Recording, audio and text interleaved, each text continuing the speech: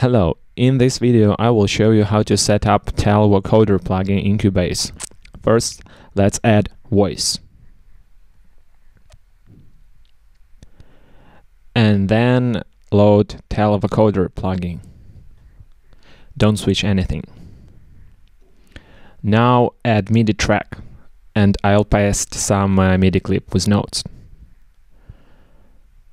And route MIDI track to a TAL vocoder.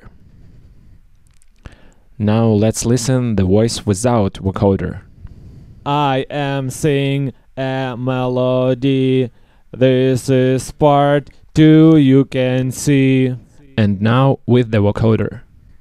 I am singing a melody.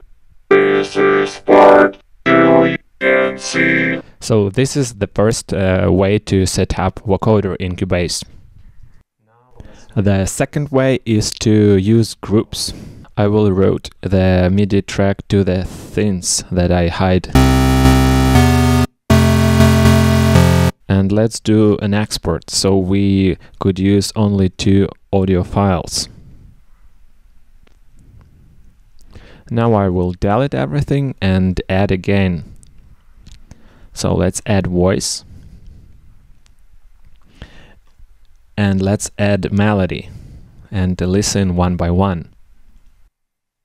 I am singing. So we have two parts. Now let's create a group, stereo group, and add TAL vocoder.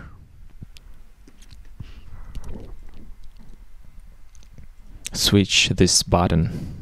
And now we route our tracks, audio tracks to this group. And I use pan to route different tracks to different different sites. I am singing a melody. So you can hear that it's not quite the desired result. I am singing a melody. I'm trying different presets, but actually uh, the issue is with the panning. You need to switch it vice versa. I am singing a melody. This is two, you can see. I am singing a melody. This is two, you can see. So this is the second method.